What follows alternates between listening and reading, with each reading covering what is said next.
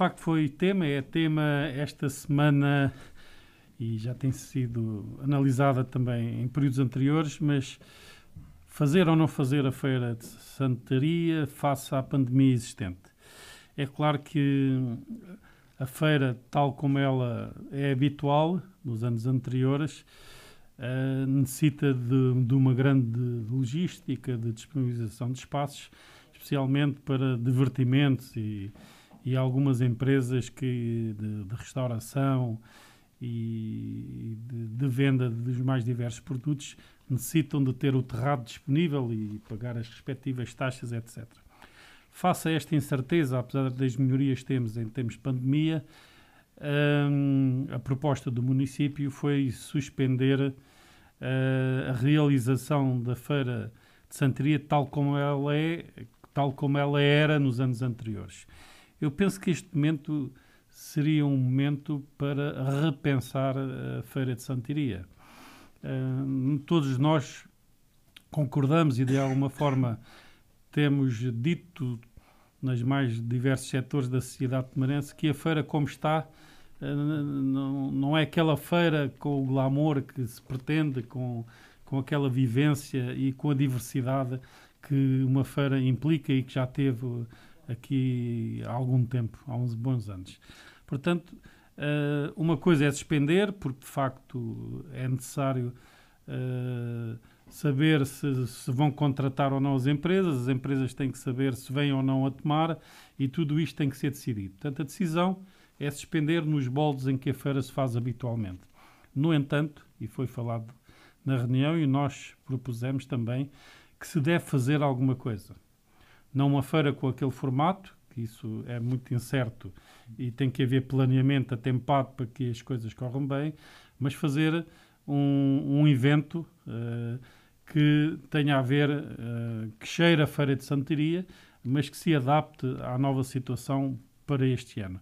E que tinha a ver que manter a Feira das Passas, manter o, o espaço de, de, de, com as tradições regionais, culturais, eh, nos mais diversos níveis, desde a gastronomia aos hortícolas, por exemplo, ao mel e tudo isso, ao vinho, ao azeite, e dar um espaço até ao queijo para que os tumarenses, e a nossa proposta é que os tumarenses tenham espaço naquela semana em tomar. Portanto, seria um, um evento destinado às entidades, aos empresários tumarenses, às associações, para terem a sua representação e de alguma forma ganharem aqui também algo para, para conseguir sobreviver a esta, a esta onda, porque não havendo eventos, não havendo porta aberta, as coisas uh, têm sido difíceis.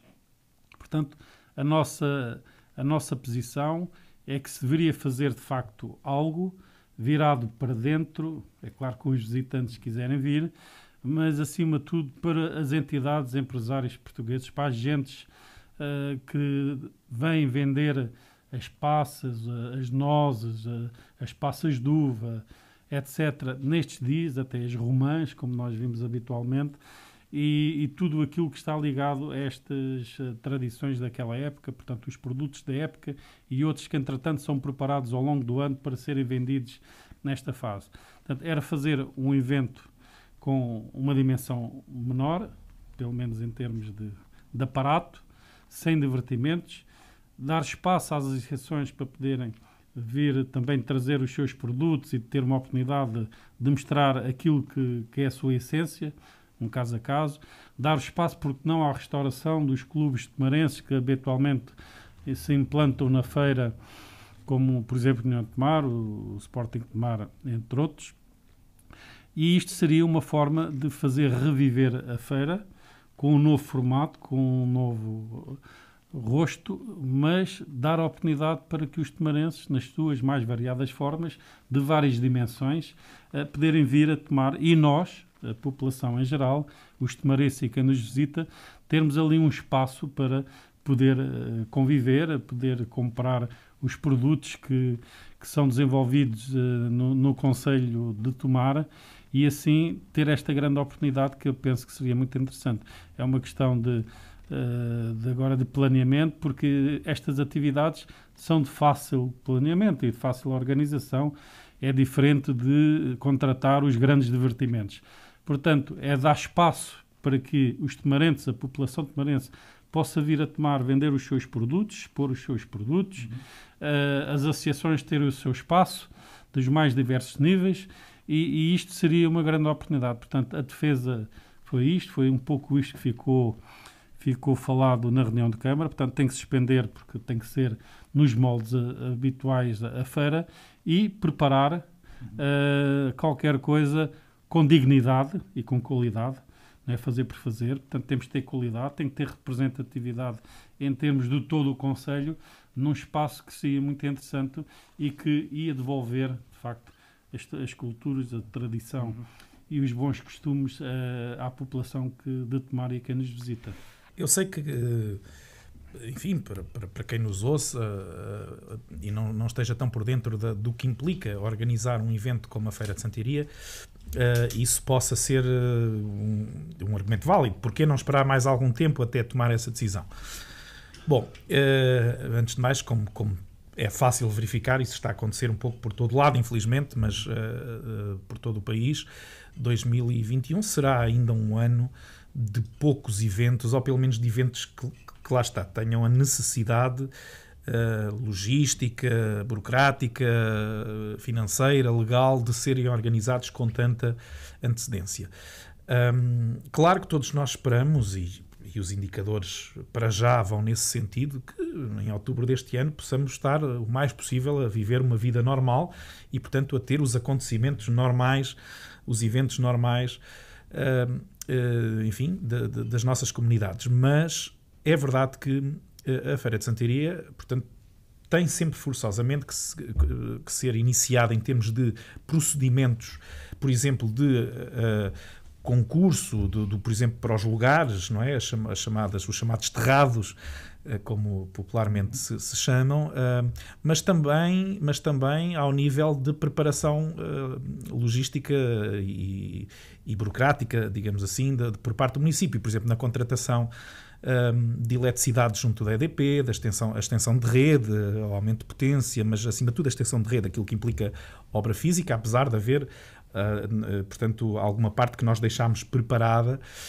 um, para que não tivesse precisamente a ser feita todos os anos e com os, com, com os gastos que isso implica. Portanto, há alguma pré-instalação, de, por exemplo, da iluminação pública, dos postos de iluminação pública, alguns deles mantêm-se colocados desde a última feira. Um, mas, portanto, como dizia, a eletricidade, por exemplo, a segurança, portanto, e, e, e, como imaginarão, um, as regras de contratação pública obrigam a, a prazos e, e, portanto, a duração que não é como cada um de nós, cidadão, que pode chegar a uma loja e comprar, ou, ou chegar junto a uma empresa e contratar, se, se, preciso, se for possível, de um dia para o outro. No, no, no, num município ou em qualquer entidade pública, estas coisas demoram meses. E, portanto, abril, maio é o deadline para iniciar esses procedimentos é a, a, eu não gosto de usar estrangeirismos, portanto, a, a última oportunidade e não o deadline para iniciar esses procedimentos. Portanto, a decisão tinha que ser tomada agora. Agora, isto quer dizer que não possa acontecer nada em outubro? Como vinha sendo falado, eu, eu, acho que não. Aliás, isso foi anunciado até pelo nosso colega Helder, do vereador que tem a competência das feiras e mercados, porque foi algo que foi discutido e que, em bom rigor, já o ano passado esteve previsto, mas depois só em parte pôde acontecer. Portanto, o ano passado, se recordarão, houve apenas uma feira das passas e, enfim, dos frutos secos em geral.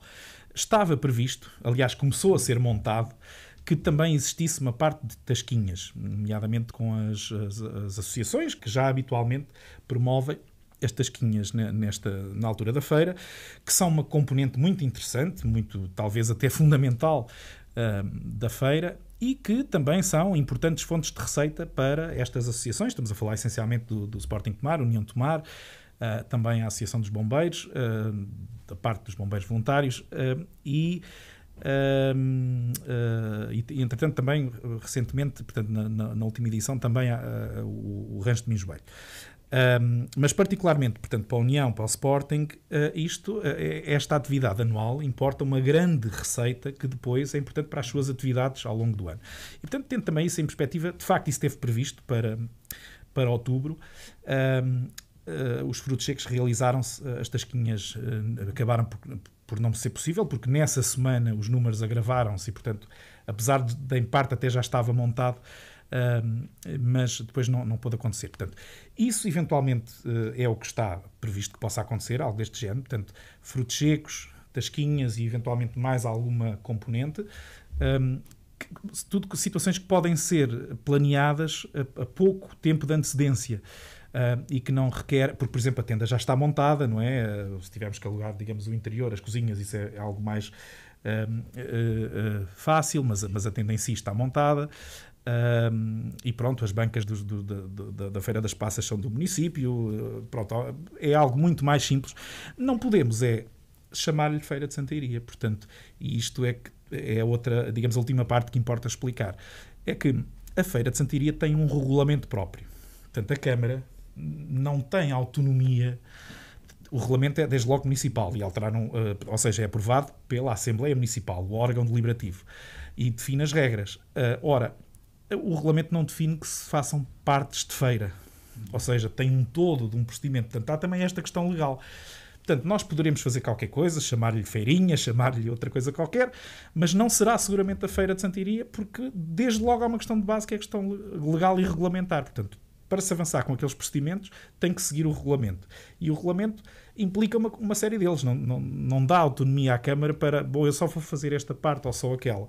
Portanto, formalmente Acho importante, é importante para a comunidade que se faça, uh, uh, e até para a nossa sanidade, que, que, que se possa fazer uh, algo, mas não será seguramente a Feira de Santiria. Uhum. Esperemos que essa possa retornar em 22. De, ainda uma pequena nota.